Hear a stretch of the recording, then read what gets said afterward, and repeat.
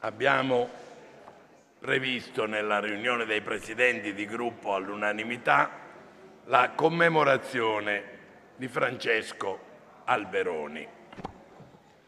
Gentili senatrici e senatori, è con sentimento di sincero affetto e commozione che desidero ricordare in quest'Aula il professor Francesco Alberoni.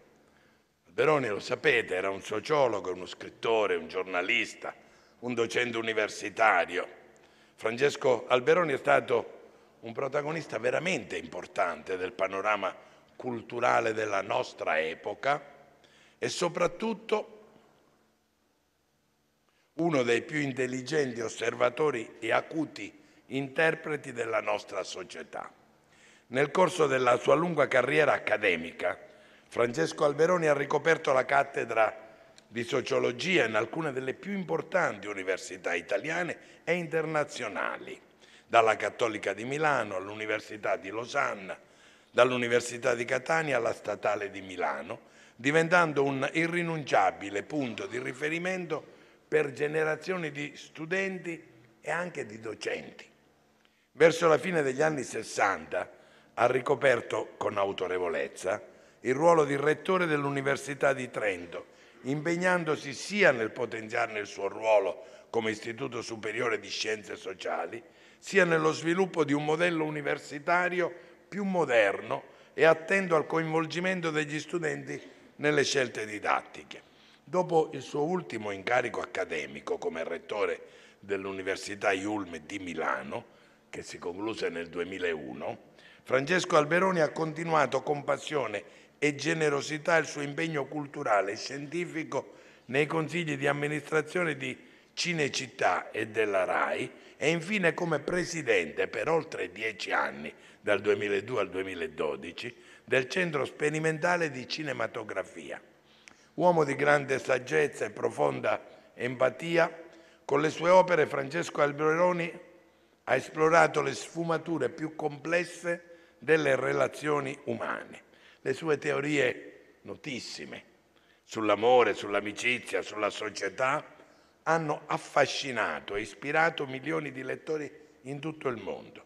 Un successo dovuto anche alla sua capacità di esprimere concetti complessi con parole semplici, comprensibili a tutto. È una grande dote che Alberoni aveva e che ci ha tramandato. Ho avuto il privilegio personale di conoscerlo e non soltanto nella fase degli ultimi anni della sua vita, quando anche deciso di candidarsi politicamente a Milano e anche alle elezioni europee, non per essere eletto ma per partecipare, anche se poi risultò eletto. Io l'ho conosciuto molti, molti anni prima, quando era nel pieno della sua attività accademica, lui e la eh, sua compianta moglie. E ne ho tratto sempre una impressione di grande forza, di grande intelligenza, ma soprattutto di grande umanità.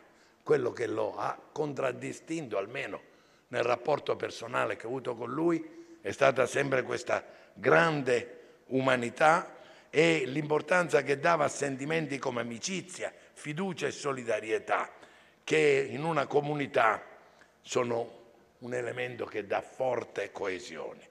Con Alberoni salutiamo un uomo che ha reso onore all'Italia e che, come hanno testimoniato le tante persone che hanno voluto rendergli un ultimo saluto in occasione dei suoi funerali a Milano, ha lasciato dietro di sé un'importante traccia di affetto insieme a un'eredità di idee e di valori che sono certo continuerà a ispirare anche le future generazioni. Concludo rinnovando il mio affetto, il mio cordoglio e la mia vicinanza e sono qui presenti e li ringrazio di essere venuti numerosi, a tutti i parenti ma in particolare ai figli Francesca, Paolo, Margherita e Giulio e ai loro familiari, a tutti i parenti, ripeto, del professor Francesco Alberoni che sono qui presenti in, tributo, in tribuna e con questo ringraziamento invito l'Aula a qualche istante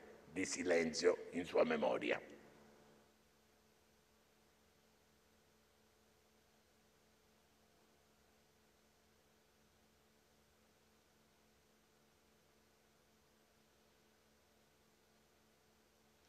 Grazie.